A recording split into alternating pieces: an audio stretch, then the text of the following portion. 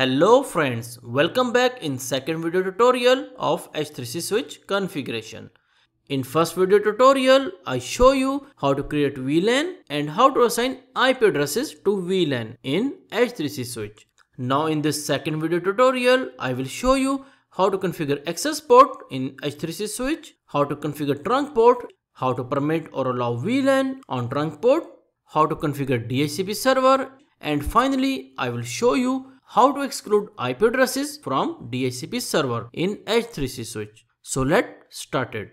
First to see the current configuration in this H3C switch we type command display current configuration and enter. Here you can see the switch name is H3C switch 1. Down here you can see the VLAN 100 with name data and here you can see the interface VLAN 100 IP address. We configured this all in our last video. And down here this is the switch gigabit ports. Now I will show you how to configure access ports in H3C switch. For that first we type command system view and enter and then we type interface gigabit ethernet 1 slash 0 slash 1 and enter. To make this port as access port, we type command port access VLAN 100 and enter. That's it and this port is now access port for VLAN 100 and exit from here by typing quit and enter. Here we configure just one port as access port but if we have multiple ports then we use range command by typing interface range gigabit ethernet 1 slash 0 slash 2 to gigabit ethernet 1 slash 0 slash 6 and enter. Then we type again port access VLAN 100 and enter and type quit for exit. Now first 6 port of this H3C switch is now access port now I will show you how to configure trunk port in H3C switch. For that we type command interface gigabit ethernet and here we give the interface number. Like I will use port number 48 as trunk so I type 1 slash 0 slash 48 and enter. Then we type port link type trunk and enter. Now this port number 48 is trunk now. Next I will show you how to permit or allow VLAN on this trunk port. For that we type here port trunk permit VLAN and here if we put question mark it gives two options. Define the specific VLANs that we allow or allow all. I type here all and enter. Now all VLANs will be passed by this trunk port and to exit from here I type quit and enter. Now next I will show you how to create DHCP server in H3C switch.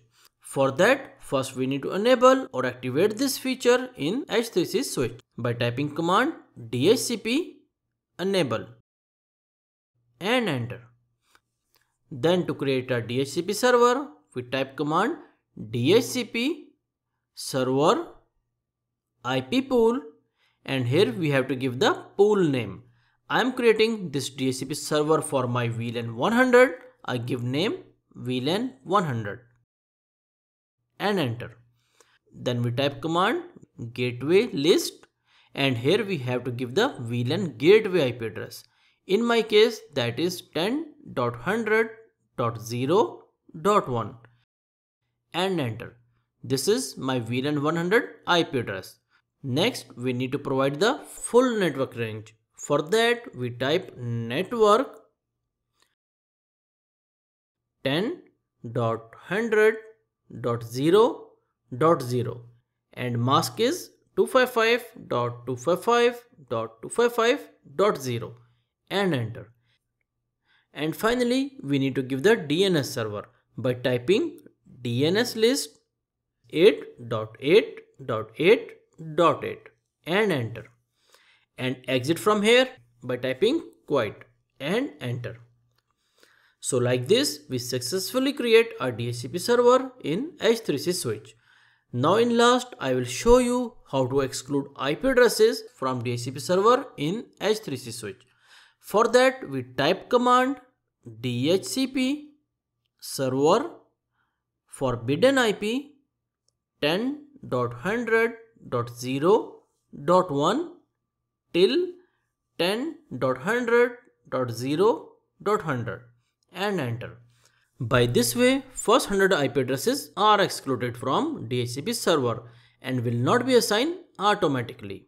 And finally, the most important step is save the configuration. For that, we type command save force and enter. Like this, configuration are saved in H3C switch.